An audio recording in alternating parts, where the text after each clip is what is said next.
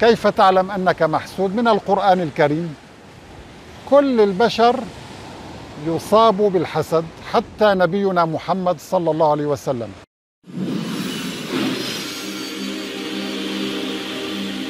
حتى يتبين لهم أنه الحق. بسم الله الرحمن الرحيم. وردني السؤال كيف تعلم أنك محسود؟ الحقيقة أيها الأحبة كل واحد منا لابد أن يصاب بالحسد. لماذا؟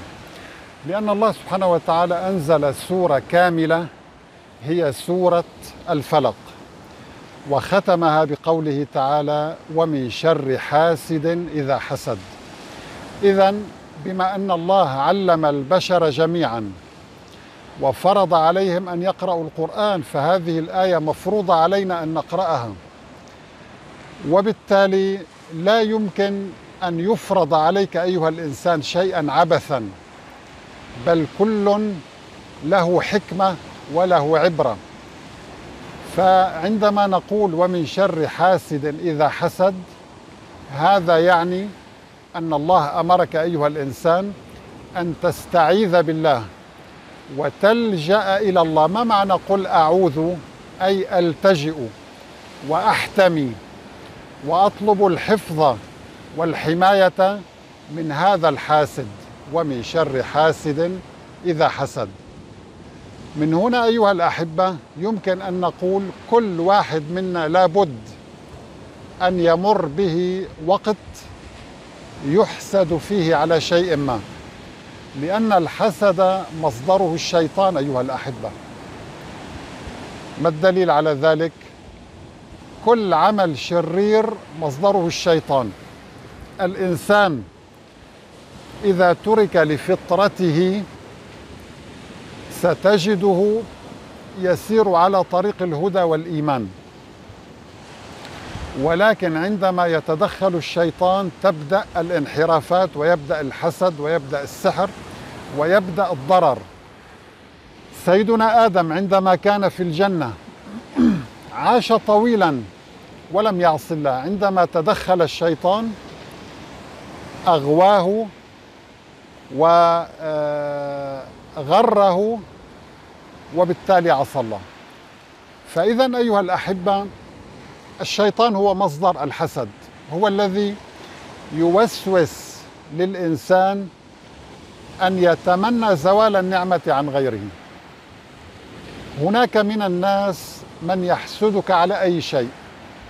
أي شيء أي نعمة مهما كانت صغيرة أو كبيرة يحسدك عليها بعض الناس. للأسف الشيطان استحوذ على كثير من الناس أيها الأحبة والدليل على ذلك قال سبحانه وتعالى ولقد صدق عليهم إبليس ظنه فاتبعوه إلا فريقا من المؤمنين. إذا معظم الناس اليوم يتبع إبليس. وبما أن معظم الناس يتبعون إبليس فإبليس لابد أن يوسوس لهؤلاء الناس ويجعلهم يحسدونك.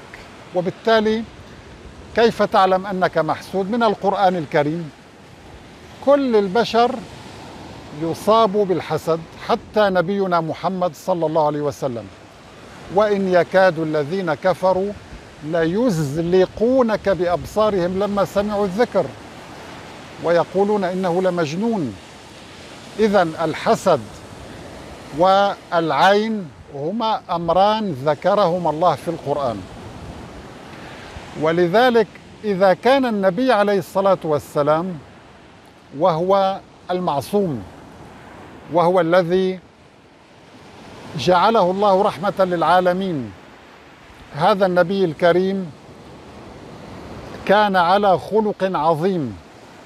على الرغم من ذلك أمره الله أن يستعيذ من شر هذا الشيطان ومن شر البشر الذين يسيرهم الشيطان. قال ومن شر حاسد إذا حسد.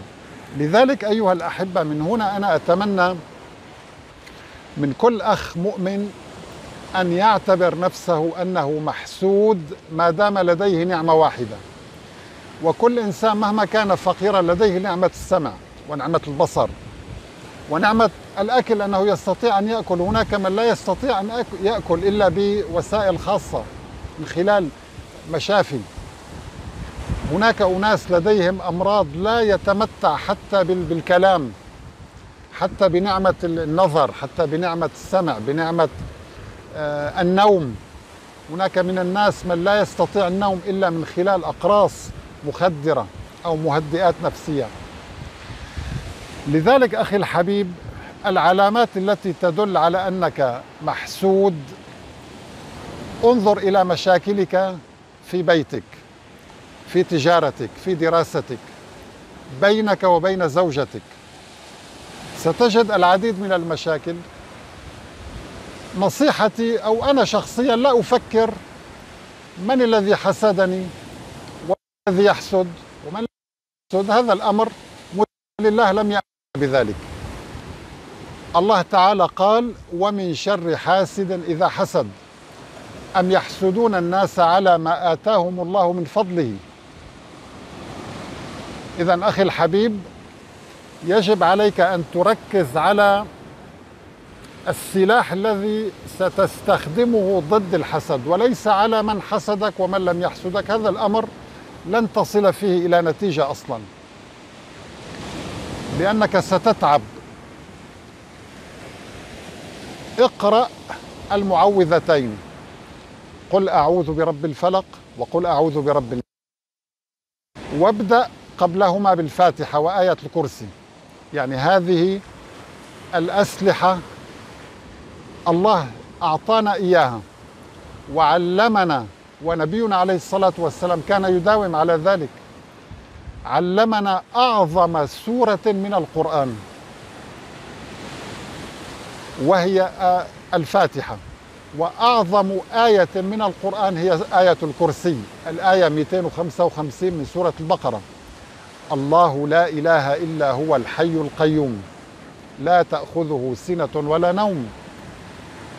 هذه الآية فيها ولا يؤوده حفظهما عن السماوات والأرض.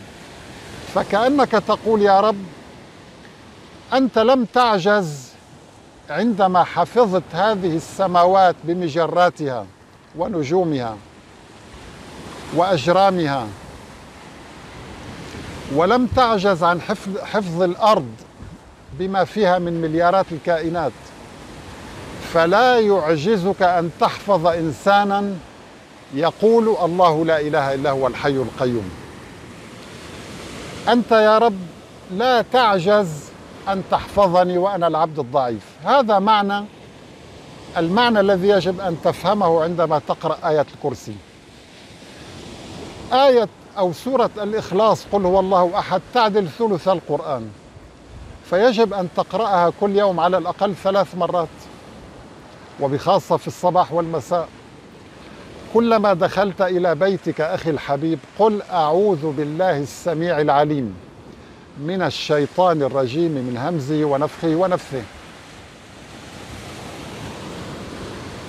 كلما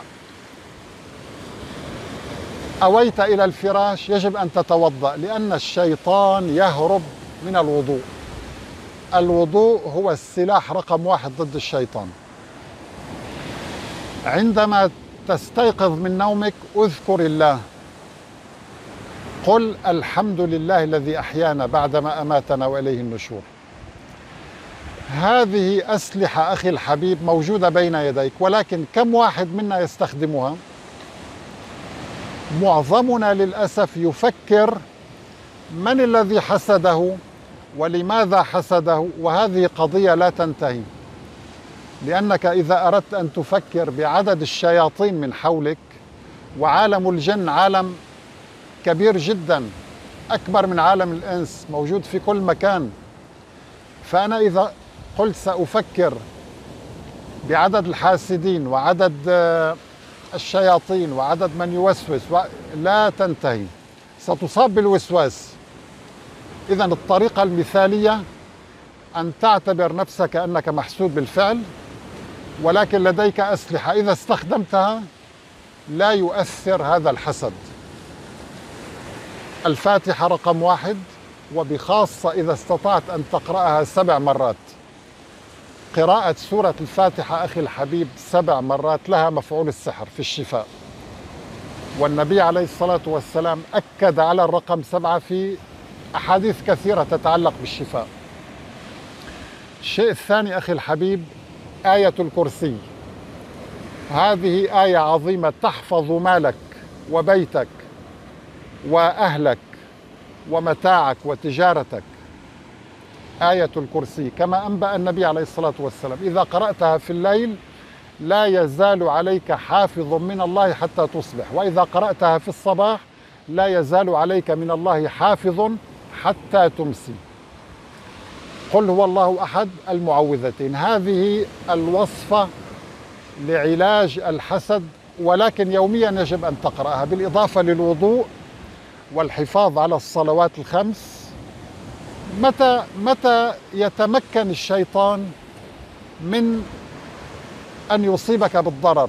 مع العلم أنه ليس له سلطان على الذين آمنوا إنما سلطانه على الذين يتولونه. الشيطان يستطيع أن يضر من يتولاه من يعتقد به. الحاسد يستطيع أن يضر من لا يخاف الله من لا يقرأ القرآن من لا يتوضأ من حياته مليئة بالغضب والانفعالات والظلم.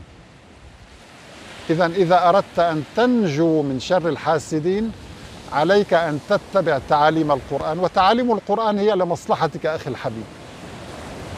اذا نلخص هذه الحلقة بكلمات قليلة. انتبهوا أحبتي في الله. كيف تعلم أنك محسود؟ كلنا محسود. بما في كل البشر بما فيهم النبي عليه الصلاة والسلام بنص القرآن. وإلا لما أنزل الله ومن شر حاسد إذا حسد. رقم اثنين لا تفكر بمن حسدك. أبدا. ولا تلقي بالا لفلان وفلان. ولا تختبئ من فلان أو فلان. حدث بنعمة ربك. كن واضحا كما كان النبي عليه الصلاة والسلام. استخدم الآيات التي أعطانا الله إياها وهي أقوى سلاح. ضد الحسد. الفاتحة سبع مرات آية الكرسي قل هو الله أحد ثلاث مرات المعوذتين. وبإذن الله لن تفكر بالحسد بعد اليوم ولن تشعر به مع الحفاظ على الوضوء والصلوات الخمس. أسأل الله سبحانه وتعالى أن يعلمنا ما ينفعنا. وآخر دعوانا أن الحمد لله رب العالمين. والسلام عليكم ورحمة الله تعالى وبركاته.